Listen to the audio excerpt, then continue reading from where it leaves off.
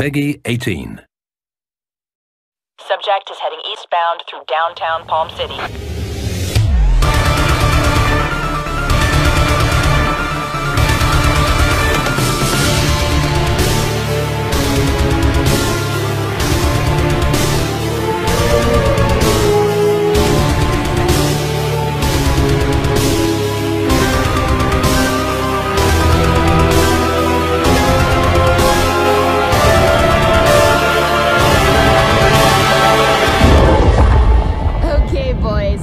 It's even the odds.